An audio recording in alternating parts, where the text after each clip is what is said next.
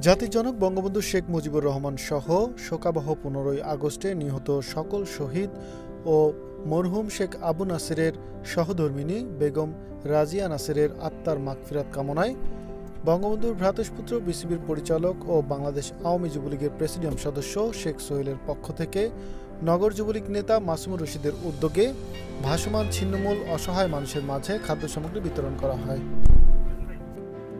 রবিবার দুপুর দুইটায় খুলনা রেলওয়ে স্টেশনে দুইশো ভাসমান ছিন্নমূল মানুষের মাঝে এ খাদ্য সামগ্রী বিতরণ করেন নগর আওয়ামী লীগের সাধারণ সম্পাদক M D A Babul Rana. এ সময় আরও উপস্থিত ছিলেন নগর আওয়ামী লীগের সম্মানিত সদস্য মনিরুজ্জামান সাগর, খুলনা মহানগর যুবলীগের আহ্বায়ক শফিকুর রহমান পলাশ, যুগ্ম আহ্বায়ক শেখ শাহজালাল হোসেন সুজন, সাবেক জেলা ছাত্রলীগের সভাপতি শেখ মোহাম্মদ আবু হানিফ, মহানগর যুবলীগ নেতা কাজী কামাল হোসেন খুলনা জেলা পরিষদের সদস্য রায়হান ফরিদ সহ আওয়ামী যুবলীগ যুবলীগের সকল পর্যায়ের নেতৃবৃন্দ। জাতির জনক বঙ্গবন্ধু শেখ মুজিবুর রহমান, আমাদের এই বাংলাদেশকে সৃষ্টির নায়ক তিনি। যেহেতু পনেরোই আগস্ট আগস্ট মাসটাই পুরো শোকের মাস বাঙালি জাতির জন্য। আজকে যারা পনেরোই আগস্টে জাতির জনক বঙ্গবন্ধু সহ,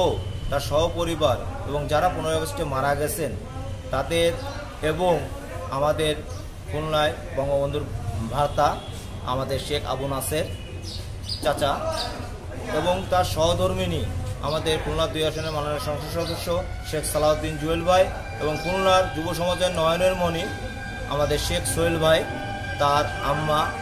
কিছুদিন আগে মারা গেছেন তাদের রুয়ের আত্মার মাত্রাতের জন্য